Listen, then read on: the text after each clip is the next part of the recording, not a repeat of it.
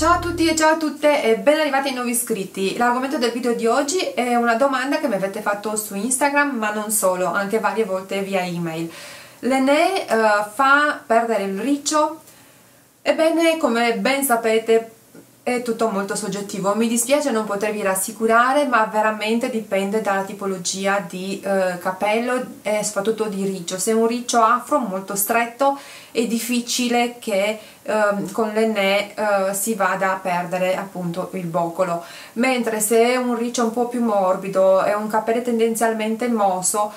è probabile ed è possibile che in alcuni casi eh, proprio perché la ne stratifica sul capello il capello si appesantisca e quindi tendenzialmente vada a perdere la forma del eh, boccolo devo dire che in questi quattro anni mi sono capitati dei casi eh, di alcune di voi che appunto mi avete detto che avete notato che da un cappello che era tendenzialmente mosso nel tempo è diventato eh, questo mosso si è perso quindi si è perso il boccolo mentre alcune di voi mi avete scritte,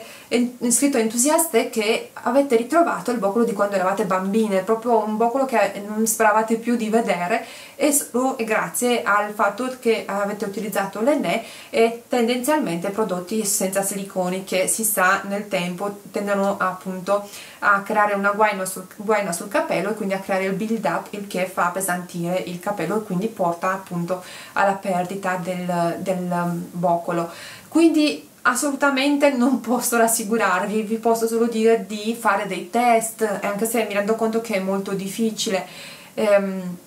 anche perché è un risultato che si eh, vede nel tempo. Fatemi sapere qui sotto al video, anche perché sicuramente la vostra esperienza potrà tornare utile alle altre, qual è stata la vostra esperienza con l'Enè sui vostri capelli ricci, sui, vostro, sui vostri boccoli. Vi mando, un, vi mando un grande abbraccio, ci vediamo nel prossimo tutorial, se il video vi è piaciuto lasciate il solito like e soprattutto ricordatevi di iscrivervi al canale. Ciao!